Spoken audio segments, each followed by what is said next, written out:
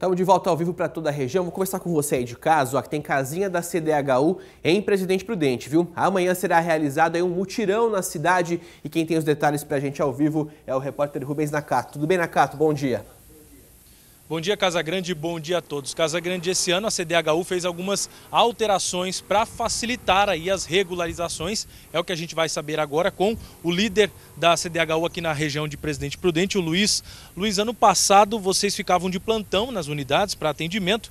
Esse ano vai ser feito isso também? Como vai ser? Bom dia. É, bom dia. É, na verdade, esse ano a CDHU, a diretoria de atendimento da CDHU, é, fez um trabalho prévio de pesquisa nos conjuntos habitacionais, é, verificando a ocupação desses imóveis e nós tabulamos os dados de pessoas que têm interesse em regularização, pessoas que estão é, que adquiriram imóveis através de contrato irregular e têm interesse em regularização e nós estamos visitando as pessoas já com essas informações nas mãos. Por que é importante fazer essa regularização?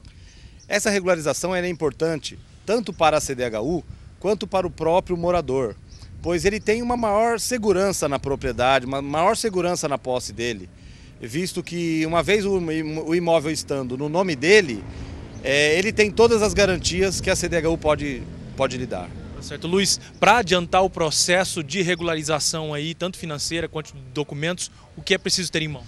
É preciso ter em mãos.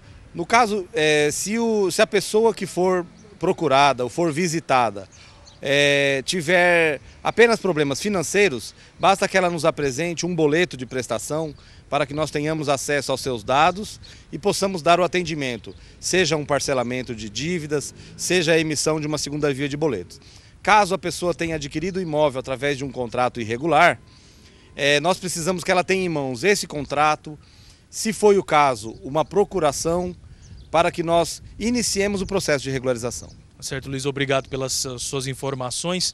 E olha só, aqui na cidade, o mutirão de regularização será no conjunto habitacional Presidente Prudente L, no bloco D da Avenida Juscelino Kubitschek, das 9 da manhã a 1 da tarde dessa sexta-feira, Casa Grande. Tá certo, Nakato. Prestação de serviço também aqui no nosso SBT Interior. Obrigado a você, um bom dia.